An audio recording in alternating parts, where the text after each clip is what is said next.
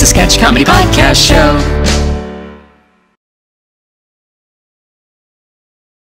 don't know. Are we in competition? What do you think? I don't know. I don't think.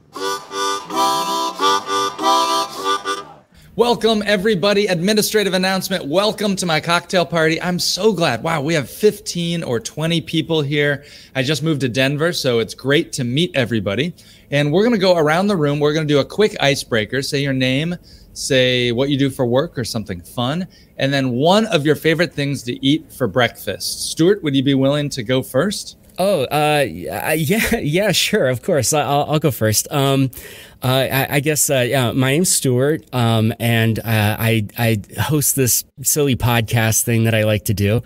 Um, and then for, for breakfast, I really actually like eggs Benedict is my favorite, but I don't get it as often as I'd like, but I love eggs Benedict.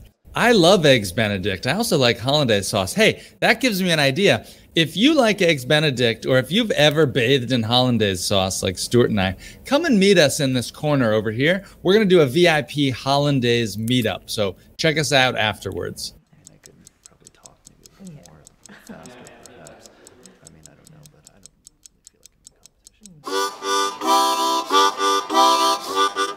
All right, listen up. This is the hollandaise meetup group. And I was looking around at this party, and these other chums don't know the benefits of Eggs Benedict. So I thought we'd have a little VIP hollandaise party within the party. What do you guys think about that? I, I don't understand why anybody doesn't love Eggs Benedict. It's amazing that there were six of us that actually came out and said for breakfast it was Eggs Benedict that was the thing. I think it's really cool that all of us like joined up like this. These six of us really are the VIP party within the party. I think it's so cool that actually, Randall, you happen to have brought hollandaise sauce with you. Do you guys want to take a shot of hollandaise sauce? I'll go get some shot glasses. Yeah, never leave home without it. Any volunteers who would make a toast to hollandaise sauce? Anyone want to say what they love most about either eggs benedict or hollandaise or just a favorite memory that you've had with hollandaise sauce? My name's Nancy. I guess I, I if it's okay, I would love to share my story about Eggs Benedict. Yeah, Nancy, please, can we get a round of applause for Nancy willing to step up and share her hollandaise testimonial? Nancy, the stage is yours. So when I was a little girl, my uh, my parents actually were like fundamental Christians, and they didn't believe in hollandaise sauce. Oh. And so when I was older, I I had a friend I stayed the night, and then the next day we went to Denny's for breakfast, and uh, I saw that they had hollandaise sauce on the eggs Benedict, and I got it, and it was the most delicious thing I had ever eaten. It was like the forbidden fruit of breakfast. Baptized by hollandaise. Who among us has not had that moment? I think that's really cool. By the way, if you have been baptized by hollandaise sauce, meet us over in this other corner because we're going to do a VIP of the VIP. So I'll see you over there. Yeah, we really do. I mean, isn't I don't know. Are we in competition? What do you think? I don't know. I don't think we're really in competition. Are we? I mean, I'm not really competing with you right now. All right, welcome to the Church of Hollandaise. Uh, I- I- I'm curious. Can we do another round of icebreakers? Maybe someone here would volunteer to say your name and I guess just something that you dream about. I'd love to hear that. Hank, you met me earlier. You know, I was I was talking about how I go and work out a lot. You said that you liked Eggs Benedict because you'll get in a heavy lift day and then you'll just pound about 10 pounds, I think you said, of eggs. And then just to break it up a little, you add the hollandaise. I don't know. I'd just love to hear what do you like? What do you dream about?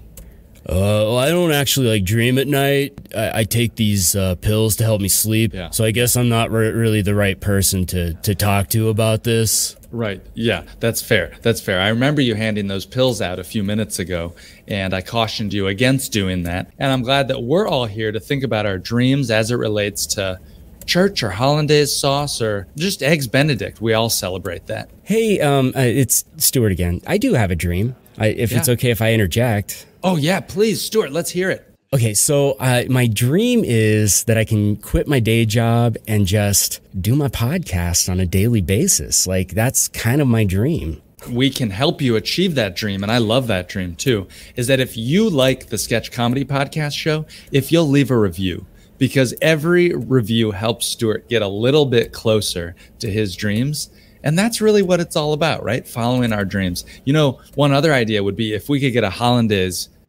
brand to actually sponsor this show. I think that'd be amazing. That would be amazing. If you have a podcast, um, go and chat there with Stuart. But if you don't have a podcast, go over to this area and we're going to do actually a VIP within the VIP within the VIP. So meet me over there in a minute. I'll see you there.